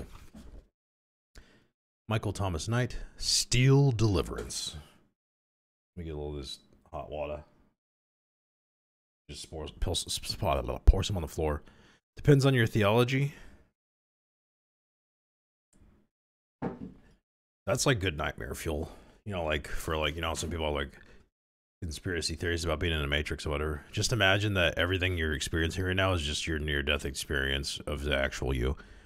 God is just your live stream sequence. Oh shit. You just gotta learn how to dream harder, faster. You know what? We're changing the background though. I'm tired of this. I'm tired of this, Grandpa. The rain distorts my vision, transposing dream into reality, or reality to dream. I'm not sure which. It's 3:15 a.m. I stare out my bedroom window. My sleep interrupted, my sanity once again in question. Through darkness and sheets of rain, I watch the cars move slowly along the distant tracks. The grinding of steel on steel, the metallic squeaking, scraping, radiates through the stormy night as the train creeps along. The third rail brightens silhouettes of the train cars with a snap and crackle. Blue and white electric light spills out from under the cars and illuminates gray metal like a camera's flash. A moment later, a flash in the sky duplicates the light, and smack and a smack of thunder follows. I try to peer into the car windows, little gray squares from this distance. They're all they're dark and unrevealing. But I know eyes are staring out at me. I feel them like burning embers of a fading campfire, heat on my face. Seen or unseen, they exist and they call to me. Why? What task would they have me perform at such an ungodly hour? I stand at my second floor window, my face twisted with a distress and frozen in stone. Motionless and solid in the night, like a gargoyle perched upon a rooftop ledge. My mental answer is no to any question this transporter of the spirit world would ask. The train picks up speed. The last car passes the parallel of my house, and the whistle cries not like a die cast manufactured train, but like the souls in agonized harmony. Its last howl away in the distance screams, Back to hell with you. Oh, I'm sorry. It screams. Back to hell with you, I say. But that sound is cut short by a bright flash and a loud crack of thunder and shakes the foundation of my home. I return to my bed and lay for a time, unmoving. I drift back into sleep. My heart rate returns to normal, and my mind settles from the anxiety of my vision. When I fall into a deep sleep, I dream. I dream of souls going to limbo, transported by the flame breathing locomotive. Spirits scream in the cars as the train barrels down the hot rails to hell. I dream of people who have ended their lives on the tracks, patiently waiting as the massive metal god plunges forward, baptizing them in their own blood in a violent steel deliverance. I then dream of a woman I once knew, a strange and carefree sort, a fallen angel who landed in my arms. I now realize she's the only one I will ever love. It is she who imposes upon this malevolent, malev. This word always gets me for some reason. Malevolent, malevolent hell train to summon me from my sleep. She lures my attention and demands my presence. She calls, always at this time. October 3rd was the day we met. We fell into a whirlwind relationship, which ended a year later. For a full decade, I denied the invitation to see her again. I shall deny her no longer. Morning makes its subtle entrance into a gray clad skies. As I head off to work, I can only think of her. I can think only of her on this gloomy day. She was very much like the passing storm clouds, unrestricted and all encompassing. Her free spirit and spontaneity attracted me. The constraints of society could not bind her. The intention of others could not quell her wishes. Time or space, routines or rules, all were meaningless to her. Years later, she continues to defy reality. Her name was Cassandra. Our relationship was, from the start, a roller coaster ride of rebellion and recklessness, a love hate tug of war. A collision of emotions that exploded into bouts of vengeful, scarring fights and episodes of passionate, all consuming lovemaking. Oh, another, we're, we're doing a lot of lovemaking here. Uh, a full year of euphoric highs and morose lows was all my mind could take. I was coming apart at the emotional seams. It was all my mental state could handle just to call her. I decided I couldn't take it anymore. We had to split up, and I had to tell her. I remember the night as if it was yesterday. On many occasions, Cassie, as I called her, I would walk and I would walk to the tracks and the railroad line running through our town. The railways, the railway areas were draped with trees and vegetation, a mini jungle cutting through the center of suburbia. Between passing trains, the area was transformed into a slender sanctuary, quiet and isolated. Rarely would we see a soul. It was as far away from the hustle and bustle of everyday life as we could get. It was the third night of a fight that had started. For what reason, I could not say. Cassie left a brief message on my voicemail telling me to meet her at the Bellerose train station at 9 p.m. Without a word spoken between us, we climbed down from the train platform onto the tracks, darting out of the station area and into the darkness. As soon as we were distanced from the station, Cassie started babbling about some pettiness that meant nothing. I cut her off. Cass, we have to talk. Her name just gets shorter and shorter the further we get in here. Next thing you know, he's just going to start calling her C. What the hell do you think we're doing? Have you been listening? No, this is serious. Listen. I shut my eyes and massaged my forehead between my thumb and fingers. I can't do this. Do what? she quipped. Us. I mean us. It's over, Cassie. As soon as I said the word over, Cassie stopped walking. I stopped two steps later. Over? What do you mean, over? She grabbed me and spun me around to her face. She wanted to look my look in my eyes to gauge if I really meant what I was saying. I looked her straight in the face so she would know how serious I was. I kept my emotions at bay and tried to speak with conviction. I do love you. I think you I think I love you. But I don't know if we're good for each other. I think we're not.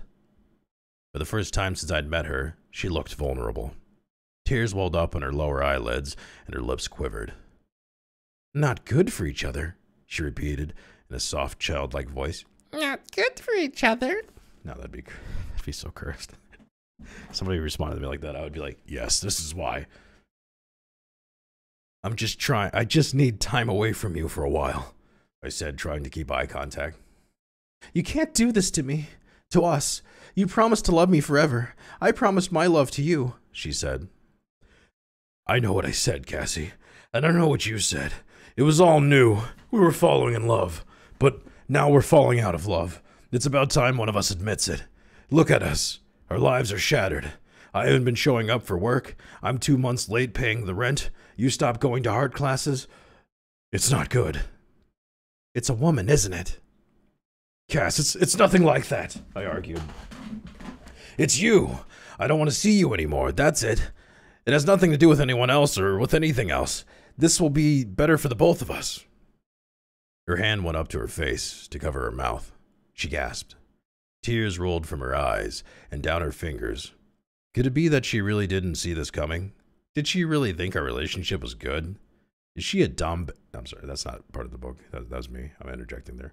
For the last six months, we hardly even talked. It was just fight, then fuck, fight, then fuck. Then she truly looked surprised. Part of me wanted to grab her quivering body in my arms and hug her. Tell her I didn't mean it. Tell her I was wrong and we should be, be together. That I do love her with all my heart, and I'll never question that again. But I had to be strong. I had to come to this. I had come this far, and I knew this was our only chance to clean at a clean break. I had to take the last few steps out of the hypothetical door and be done with her. I want the keys to my apartment back, I said. I hoped the finality of these words would be the last blow. She stared into my eyes, searching for a sign of remorse. I gave her none. She was broken. She was Logitech G Hub device DPI set to 800. Uh, um, sorry. I gave her none. She was broken. A lost child standing before me. It's okay, Mark. You can see other women if you want, but please just don't leave me.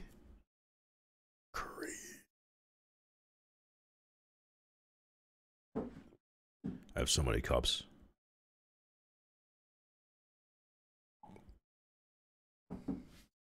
So many cups. She reached shaking hands toward me. I backed away. I needed this to end.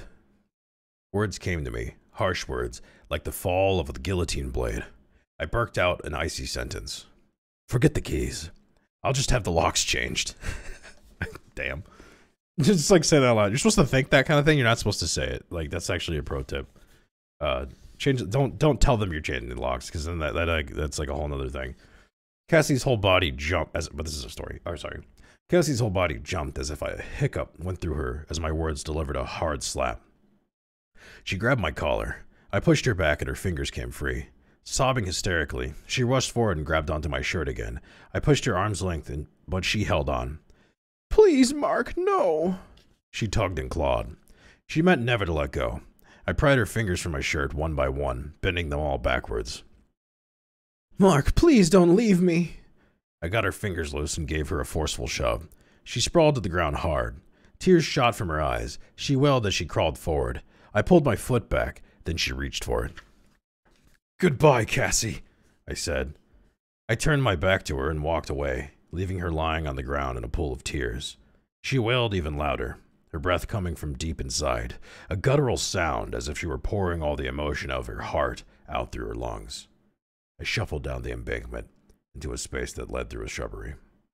Through gasping cries, she screamed, Please, please, please. I continued to walk like a militant on a mission, knowing I was doing the right thing. She was the wild child that liked to party, and nothing was going to change that. The trait that originally threw me to her had turned to acid and eaten away my life. Had eaten away at my life. My mind and world were melting. I needed order in my life, and I wouldn't find it with her at my side. I knew this. I was far from the tracks and pressing my way through the brush. I figured that if I cut straight through, I could find a hole in the fence and come out on Granger Street. From there, I could get to Jericho Turnpike and take a bus back uptown. I heard Cassie's voice call out in the wind. Come back, please.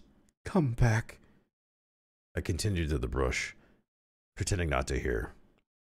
Even though part of me wanted to run back to her, I heard her voice again, like an echo in the wind coming from multiple directions. My love is for you only, she shouted, and that's the way it will be for all eternity. If you won't have my love, no one will. The distant whistle of an approaching train made me think about what she had said. The distress about the breakup combined with those words aroused my concern. But I had to let it go. She would survive. She was a fighter. She'd hurt, but she'd get over it. The train whistle called again. This time it was more pronounced. Her words reverberated in my head. For all eternity, no one will. I heard the rumble of the locomotive engine. It was still off in the distance, but it carried through the night, drifting in the breeze. Then it hit me. Softly, but insistently. I stopped walking, thinking of her word about her words again. Nah, I said. However, I couldn't shake the creepy feeling that was invading my mind. I looked over my shoulder and tried to shrug it off, but I couldn't. I turned and headed back headed back the way I, back the way you came. I headed back the way I came. Oh my gosh. Back the way I had come, all the while denying she was capable. I have to do the, the goddamn finger thing right now. He Back the way I had came, all the way denying she was capable of the unspeakable. I had to check. I assured myself that she had already left and gone home, but I still had to check for my own peace of mind. The locomotive rumbled, growing to a steady roar. A sense of urgency overwhelmed me as I made my way through the brush, the bush. Thick vegetation surrounded me. Disoriented, I pushed myself faster and harder. Twigs and branches smacked me in the face and scratched my arms. The train pushed faster and harder, matching my efforts. I felt the vibrations from the tracks in my feet, and the locomotive's wheels made intermittent shrills, screeches that grew louder with each cry. I made a last ditch effort to free myself from the strangling shrubbery. I ran the ran but barely moved. The foliage grabbed at me, purposely trying to hinder my advance. I broke free, spilling to the ground in the clearing. Rocks scraped my body, making my making me bloody as I tumbled. I jumped to my feet, looked up at the embankment, and witnessed my worst fear. Cassandra stood on the tracks between the rails. The light beam from the locomotive shined on her like a spotlight, and the deafening roar of the train blotted out my cries for her to run. She waited apathetically as the train closed the final gap. A moment before impact, she turned to me and mouthed the words, I love you. Then she disappeared. The massive speeding train pulverized her body. Parts of her flew in all directions. Small pieces of soft tissue hit me in the face and stuck to my skin. A piece of bone raced through the air and penetrated my leg like a steak knife. I looked down at the flesh hanging from it. It rained blood, and I screamed. Small droplets showered my skin like a fine hot mist, covering me and everything around me in red. I looked at my arm and dragged my fingers to the blood, making a swirling line on my arm. I lifted my finger and looked at the red liquid, unsure or in denial about what it was. I heard the squeal of the train's brakes as it passed as it quickly passed me and moved off into the distance. I looked up and saw pieces of Cassandra everywhere. I raced around collecting what I could see a foot or hand, part of a leg. Did I have some idea of putting her back together? The world spun into darkness, and I passed out.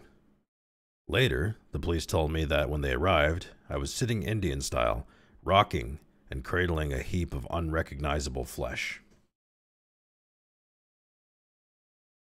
Now, it is 10 years later, October 3rd at 2 a.m. I head up the stairs at the Bellerose train station and onto the platform. At this hour, there is rarely a soul seen at the station, especially on a weeknight. I scan the area to ensure my stealth and jump from the platform to the tracks. I walk the long journey for the first time in many years, as if I were another person in another life, or as a story from a long forgotten book. The railroad ties pass under my feet at a steady rhythm. The dark, ominous trees sway overhead in the autumn winds. Occasionally, I pass a familiar signpost, and a sweet memory tries to purge my heart. This is where Cassandra and I first made out, sitting upon that fallen tree. I scattered my thoughts, trying to block these memories. I bow my head and concentrate on the passing parallels, sometimes counting them to occupy, occupy my mind. I'll show her no emotion on this night. It's over between us, and she must know this. I must get on with living. I'm overwhelmed when I arrive at the place I last saw her. Dread intrudes upon my soul, and my emotions lock a grip of desperation upon my heart. All the love, the magic moments, the experiences we had surface at once. A maelstrom of sights and sounds flash before my eyes and my ears. Tears course down my cheeks in a silent cry. The dark power of her engulfs me. Like a black cloud swallowing a small plane, she's a violent storm that will not recede. I feel her presence, and it demands a reckoning. She is in the trees and on the tracks, her ambience plastered to my skin and riding along the wind simultaneously. Simultaneously. She's here, yet she evades me. What kind of evil hell bitch game is this? Is this her revenge? A torn man with a torn heart? Is that what she wishes to leave upon here upon these empty tracks? I scream at the trees, at the sky, at the wind, and perhaps at nothing at all. Where the hell are you? I'm here. Show yourself. I pause a moment. Cassandra, I know you're here. I can feel you. I smell you. I taste you. The wind continues. Where are you? Sorry, I couldn't help. The wind continues to whip fallen leaves into small swirling communities. Tree branches sway like giant waving hands, greeting friends on opposite sides of the tracks.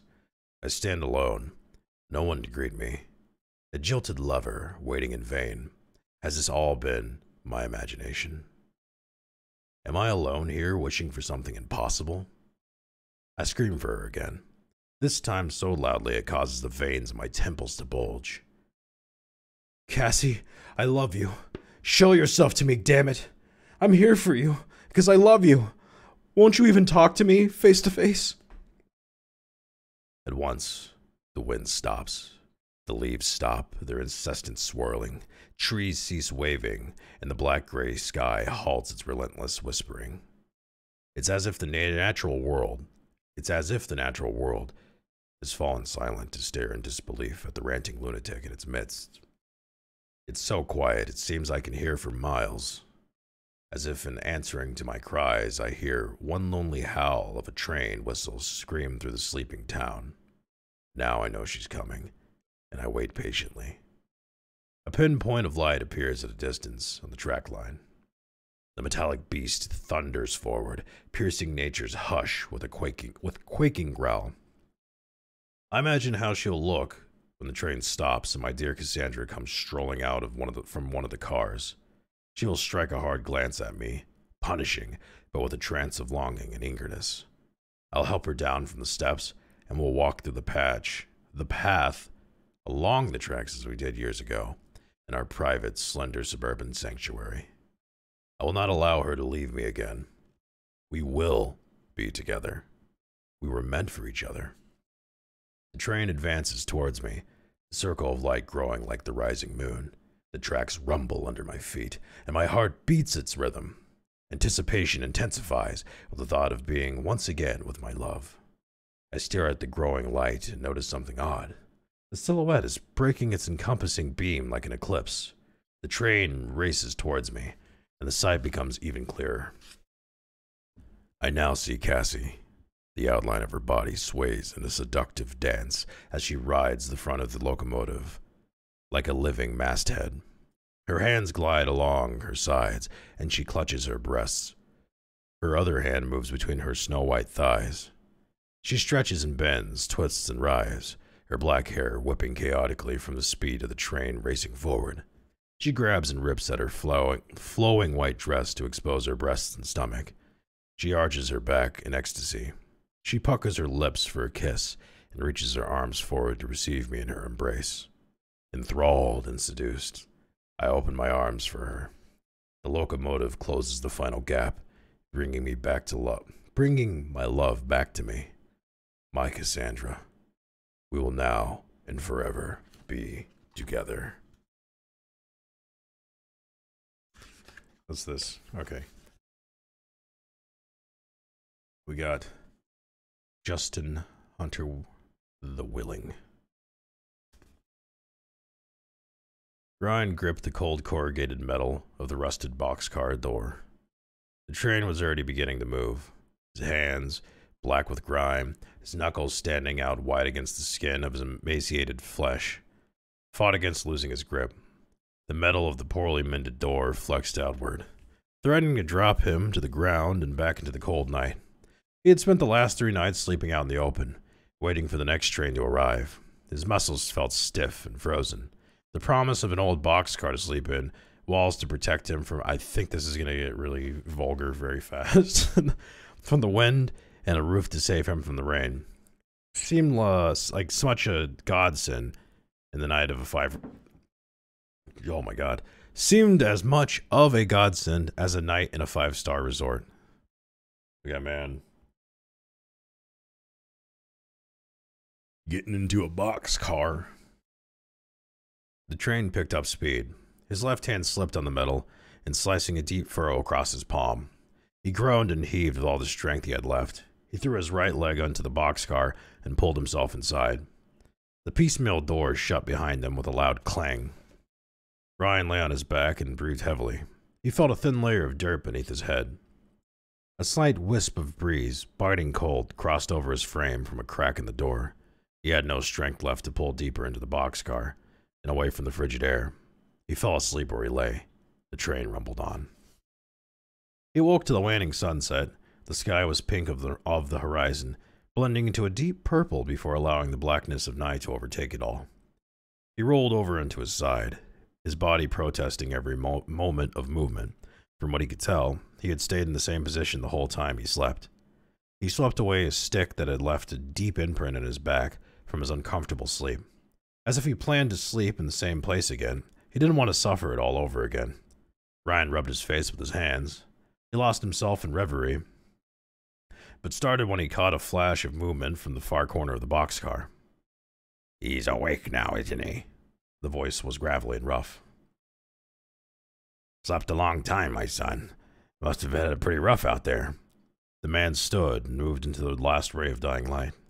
He was old, yet age was a hard thing to tell from life on the rails. Hard living ages a person fast. He wore dirty clothes, layered so thickly that Ryan couldn't make a good guess at what the man's build. He didn't like what the, the way the man was looking at him, sizing him up. Ryan watched the man's eyes travel several times up and down his body, making him feel small and weak. Young, the man said. How old are you, son? Twenty, Ryan said, shifting his body up in the sitting position. Bah, the man laughed. You can't be more than fifteen. You've got those scrawny arms and legs. No man, no man muscle on you. What do you want? The man laughed again. The sound was harsh, as if the man's lungs were caked with wet mucus, broken only by barking mirth. It was painful for Ryan to hear. Nothing. I don't want anything you're unwilling to give. I just thought we could pass the time here for a while. I know these rails, and I know there's there's isn't going to be stopping for a long run. You've got two drivers up there taking turns sleeping and turning the, running the train. It's going to be just you and me for a long stretch. Ryan tried to hold the man's stare, but felt so uncomfortable he looked at the floor. You may be young, but I bet you know a thing or two. I bet you've been broken in real good. You know how this works on the rails. I know how it works, Ryan said. I'll fight you if you try anything. You fight me? The man's voice rose to a creaky octave with the question. This is my car, boy. You want to ride in here, you have to pay the toll. I'll see that you're broken in proper. Roll over and pay. I won't let you. Suit yourself, the old man said, shrugging. Get out. He pulled back the boxcar door. A cold blast of wind, flecked with snow, chilled Ryan through his meager clothing. The man smiled broadly, his brown and broken teeth pressed taut in his grinning maw. Ryan felt the cold bite to the bone. He hadn't eaten in days. He knew he had no strength to fight. His body shivered as he took one last look at this filthy, roached attacker. Then he rolled over on his stomach and lay still. Hold on, let me glance this. I, know, I think, yeah. Oh, wait, wait. Go ahead, Ryan said. His voice came out so soft that it was almost inaudible. The man laughed his foul, wet bark again. Ryan heard him unbuckle his belt. Then hard hands jerked his pants down to his ankles. His boxer briefs came down next. The man, this is not good if you're going to sleep.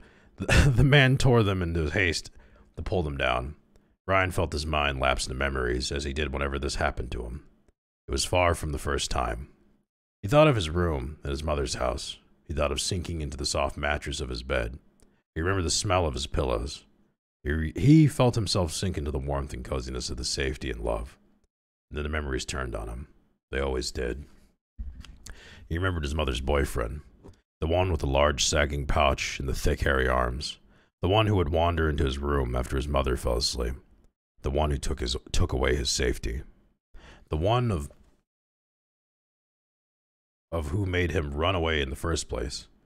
The hatred he felt for the man startled him back into reality. The ragged vagrant had finished. He was breathing heavily, his chest rattling wetly with each intake of air. Sweat iced his brow. He sat down near the door of the boxcar and lit the remaining half inch of cigarette. Of a cigarette. He held it out to Ryan, offering him a drag. Ryan shook his head. He rolled onto his back and pulled his pants back on, throwing the torn remains of his boxers into a corner of the car.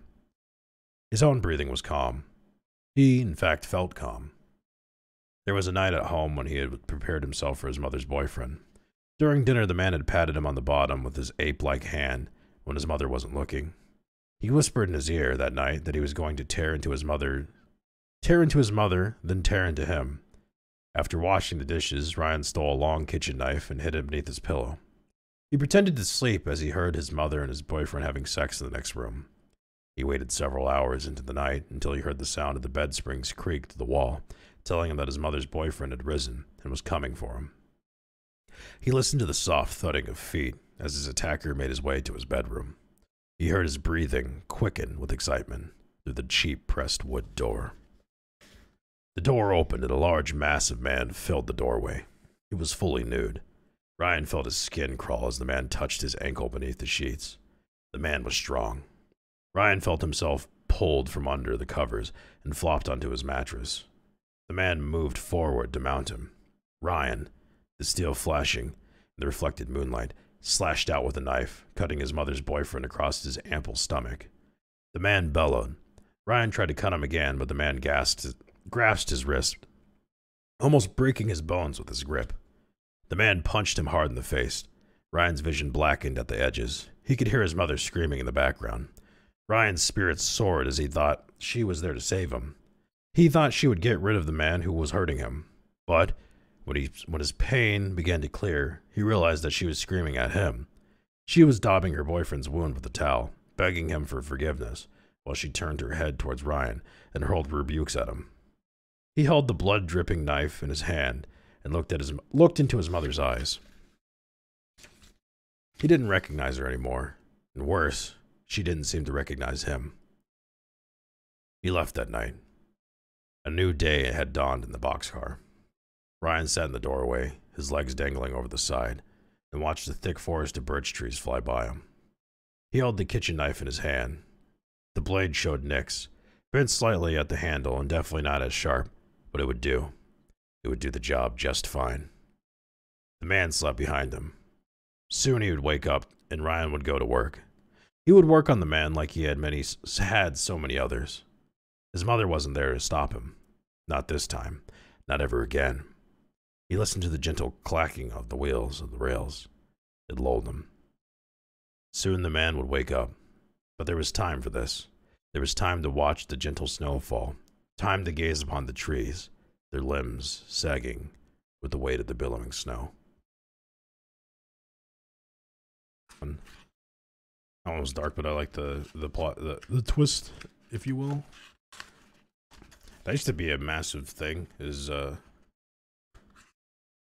uh the uh, hobo essay and R. The punch came out of nowhere. Wait, what is this one? Oh, this one's fun. I think. All right, we'll find out the hard way. Bridget Kephart, Summer Train. The punch came out of nowhere, smashing against Colby's arm and nearly knocking him off the log where he sat. The blow accompanied by the taunting chant, Pinch poke, owe me a coke. Oh, douchebag, Colby said. He rolled up his sleeve, of his Macklemore T-shirt to reveal a fist. Damn, this shit's so twenty whatever year. Come on, Macklemore T-shirt to reveal a fist-sized spot reddening on his skin. Punch me again, and I'll owe you a fat lip. Colby said as he rose to his feet. He poked a finger into Max's chest, jabbing the line of Max's T-shirt, which read, "I bought awesome. What do you bring?" I brought awesome. What did you bring? That's a classic Ugh, hey. I saw them first, Max said, dancing off to the left and out of Colby's reach. No need to get testes. Max had the bulk of a small bull. He played football for their school, and Colby honestly didn't think Max realized his own strength. Strength. Colby followed the line of Max's finger to where it pointed up the hill at two figures. One was Sarah, a blonde girl in a raspberry tank top and jean shorts who carried a navy blue backpack slung casually over her shoulder. Accompanying her was Darius, the youngest of their group.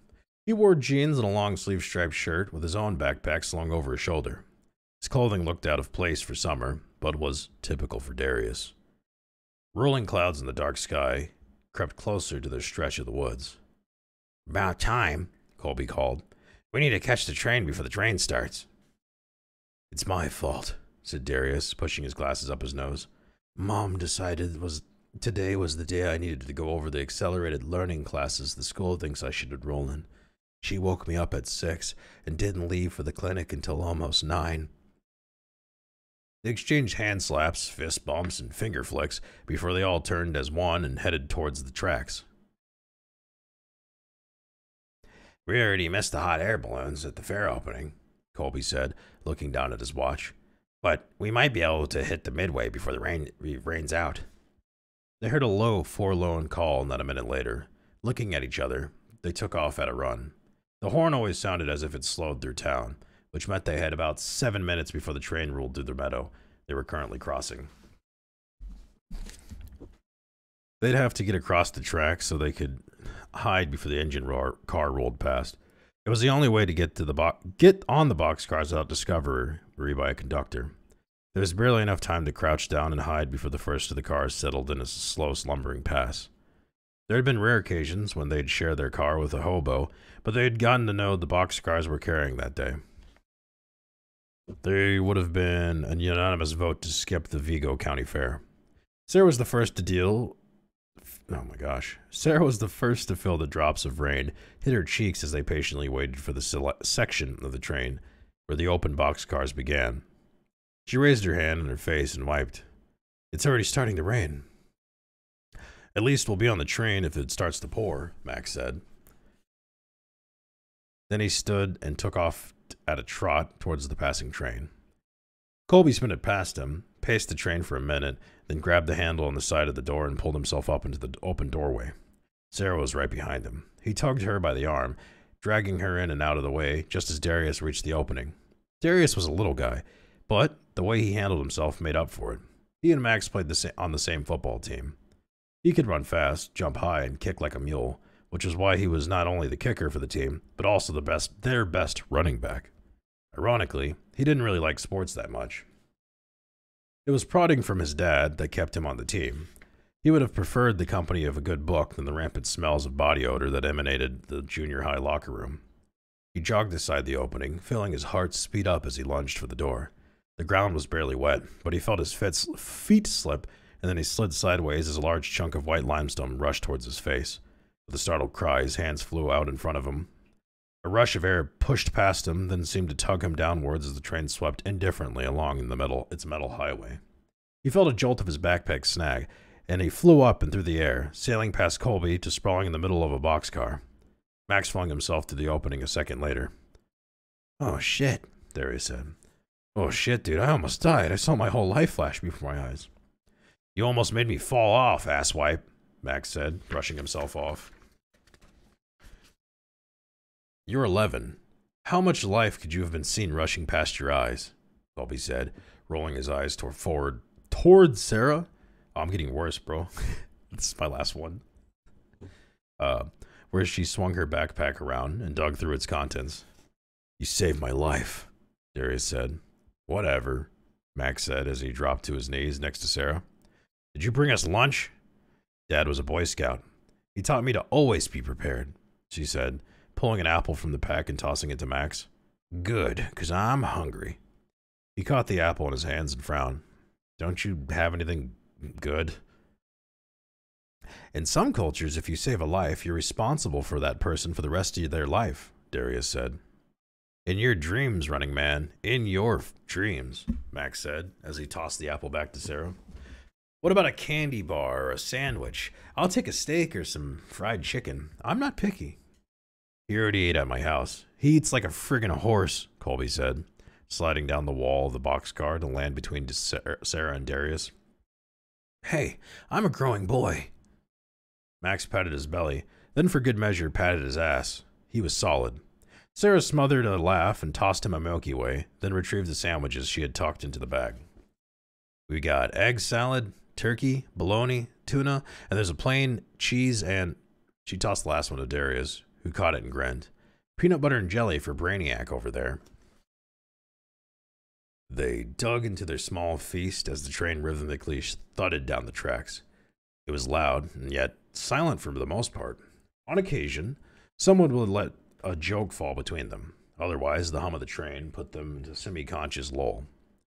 Outside, the sky had grown dark as night, and the wind blew through the doors in a gust, blowing drops of rain into the open doorway. The four crept closer together as the storm raged until they were sitting in a small, tight circle next to the front wall of the boxcar. A blinding flashlight caused them all to jump, and followed by a low barreled roar as the thunder rolled across the train. Did anybody notice what the train is carrying? Darius said, looking off towards the back of the boxcar. In truth, nobody had. They looked, they looked now. There were rows of long boxes stacked three high. On each end of the boxes was a large tattoo print. Batesville Coffin Company, since 1884. The boxes looked withered, old and used like they'd been dug out of the ground sometime in a not so distant past. Ah, I wonder if those are from the graves they dug out in the Sandusky place. The paper had a big write up about how they were going to move the old cemetery. Some controversy about it not being legal to move the bodies without family approval or something, Colby said. Suddenly, Max rolled onto his back with a groan, lifted his right leg up to his chest, and a vibrato rumble erupted from his backside. Oh, this nigga just farted. All right. Sarah squealed and scooted crab style away from Max, while Colby kicked him in the leg. Darius didn't move. He just sat and stared at the boxes in the back of the car. Rude, rude, rude, Sarah said. A man's gotta do what a man's gotta do, he said. Hey, Cole, do farts ever have lumps? In answer, Colby gave him another kick to the leg. There was another flicker of light, followed by a boom.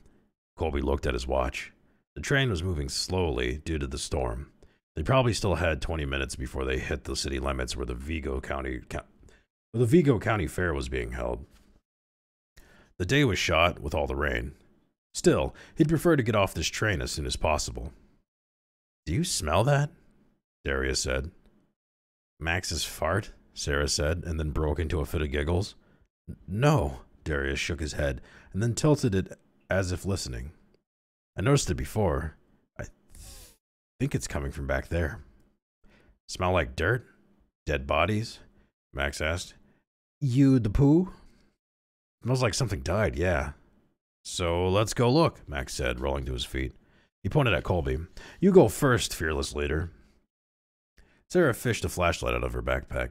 Then she rolled to her knees, used the back wall for leverage, and hauled herself to a standing position. I'll go first. I got the light. She's got bigger balls than you, my friend, Max said to Colby. Those are his balls, Darius said. There was a round of snickers. We could get off this car and pick another. The train's going slow enough, Darius suggested. Where is your sense of adventure? Max said. He pushed Sarah ahead of him as she guided her. As if guiding her, sorry. I let it out of my other. I left it in my other shorts, you know. The clean pair I'm going to need if we find anything gross back there. They moved slowly. The motion of the train made it a bit like walking on a boat on the sea kind of rolling on occasion, even though the speed was relatively slow. Sarah, did, Sarah didn't want to touch it, but her hand brushed the bo- coffin box, so she used it to steady herself as she made her way down the center aisle between the caskets. There were 12 boxes, all marked Batesville Coffin Company, all looking freshly removed from the ground. There should be more of these, Colby said quietly. I think I read there were 25 to 50, 20 to 50 graves being moved. They weren't sure because some of the old markers had been worn away to nothing. When did you start reading Einstein? Max asked quietly. Sometimes my parents make me sit with them at breakfast and read the paper. It's a lost art you wouldn't understand. Shh, do you hear that? Sarah asked. Hear what? Darius asked. Darius ass asked. The lighting was so bright and blinding they jumped as if puppets, connected by the same string then pushed close together in a huddle as the sound of thunder rippled through the boxcar, echoing off its side and shaking the entire train on its tracks. Geez, I think that hit the train. You can smell it now, though, right? Darius asked. I smell something, Sarah said, inching forward. I think I shit my pants. That might be what you smell, Max said. Really, Max? Why don't you relax the jokes for a minute, man? Colby said, feeling the tension in his shoulders. His nerves were standing on end from the last blast of lightning, and it felt like he had had strings of wire laced through his body, getting ready to explode at any moment. Another lightning strike might make his body aflame, might set his body aflame. Cipriani. Yeah, yeah, yeah, Cipriani. Another joke from Max, and he might explode in a different manner. One thing was certain: he didn't want Sarah in front of in front with the light. He moved forward and reached out to remove it from her hand. I got it, she said, and stepped forward, stepped further into the darkness. She swept the beam across the floor and up the boxes. At the end of the aisle was another gap before the back wall of the boxcar. She swept the beam across the walls, over the ceiling, brought it down, and crossed the floor. The smell was stronger. The light beam passed a discolored lump in the back corner, and she drew the light back across it. Across it. She stabbed the beam for, for, toward it, and then made a circle, bringing the others to his attention. What is it? Darius asked. She shrugged. Can't tell from here. Might not be what smells either. So get closer, Max said. She handed him the light and stepped back. You get closer. I think I see something moving over there. What do you mean, something moving? She shrugged and turned her wide blue eyes towards Colby and said, like a shadow or something. Darius pushed forward, one finger positioned on the bridge of his glasses as if bringing the lens closer to his face would give him a better look at what was beyond the circle of light. His brown eyes showed too much of the white of his eyes and looked comical in the darkness of the boxcar. Max shined the flashlight under up under Darius's chin, and everyone broke into a fit of giggles. Giggles. It wasn't a fun fit of giggles, the kind that came out of something really funny being said or done, and worked its way into the body, becoming irresistible. It wasn't that kind of giggle at all. It was the kind of giggle that comes from embarrassment, fear, uncertainty. The kind that masks something else resting just below the surface, as if to do something other than giggle at that uncertain. Why is. Why? the kind that masks something else resting just below the surface, as if doing anything other than giggling at that certain. At the uncertainty would cause something too horrible to be named to become real. So, we giggle and pretend. This isn't really so bad. It was that kind of giggle. It was just enough to snap the fragile hold Colby had in his self control. He snatched the light from Max and stomped towards the dark mass in the corner. It was moving. The remains of a carcass abuzz with flies, its fur moving with a death pulse under its skin. Colby held his nose and put the light closer. I think it's a cat, he said. Max came forward and sleeved up sleeve up over his nose. He crouched next to the carcass and poked it with a piece of wood he found lying on the floor. The flies surrounding the body rose like a thick cloud and seemed to grow and expand, then become thin and ghastly, ghostly for a moment, finally drifting back to the remains like a wave rolling back into the ocean. Quit that! What's wrong with you? Colby said, nudging Max away from the body. Max rocked back on his heels, one hand splayed to stop him from landing on his butt. His hand landed in a sticky substance. From the. What? Oh. His hand landed in a sticky substance. From the muttered gross that escaped his lips to the putrid waft of stench that rose from the puddle, Max felt his stomach muscles clench in response without his will. He heaved, spilling chicken salad amid the swirls of Milky Way and a heavy stream of mucus. Colby jumped back. Jesus, Max. Oh, Jesus, Max. I like to imagine that's goofy. Uh, Darius and Sarah, Sarah, Sarah, Darius and Sarah had come close and now jumped back as well.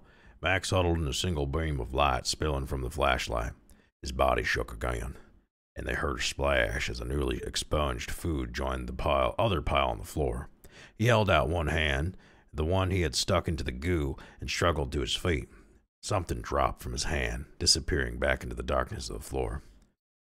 God, please tell me you have a handy wipe, bleach, a towel, anything in your backpack, Max said, holding his goo covered hand.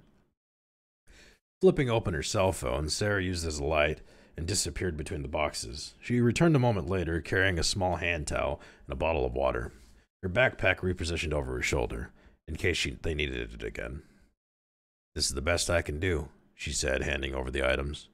A new smell joined the smell of death, a, mar- a marriage of sweet, predigested food, stomach bile, dirt and mold, and other putrid, unidentifiable scent. If pushed, Colby might have thought of it as liquefied and rotting guts.